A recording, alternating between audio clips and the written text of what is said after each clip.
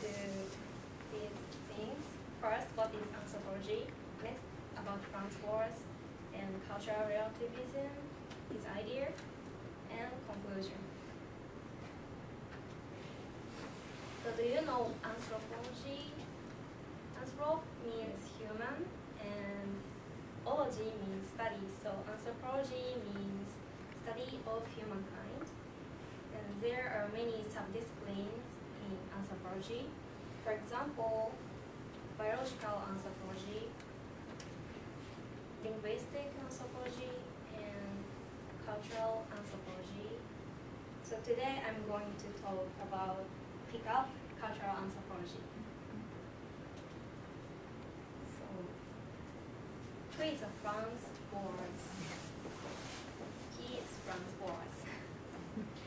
He's the first professor of anthropology in the US, and his idea developed anthropology in the US. His main ideas are participant observation and cultural relativism. Um, in participant observation, he insisted that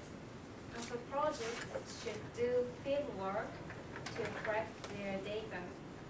So they should not only collect data from material or book, they should do field work. And another idea is cultural relativism. So cultural relativism is a, one of the hallmark of anthropology. And this idea shows anthropologists anthropologists should free themselves from ethnocentrism as much as possible and approach each culture on its own terms. So Franz Boas rejected. The idea of evolutionism of Darwin and also he rejected ethnocentrism idea. Ethnocentrism is the idea of our culture is uh, better than any other uh, So, in conclusion, there are three three points in my presentation. First, anthropology is a study of humankind.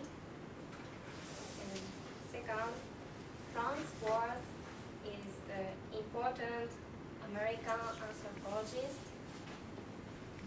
who made the idea of participant observation and cultural relativism. And third, cultural relativism is the idea of cultures should be analyzed with reference to their own histories and values. So not according to the values of another culture. Okay. Here is my reference. It's my textbook in cultural anthropology class. Thank you for listening. Do you have your three questions? And I have three questions. Okay. Uh, question one, what is anthropology? Study of humankind. And question two, who did develop anthropology in U.S.? France. France. France. So, Franz Boas. And last question, what is the idea that anthropologists should free themselves from ethnocentrism and approach each culture on its own terms? Culturalism. Cultural relativism.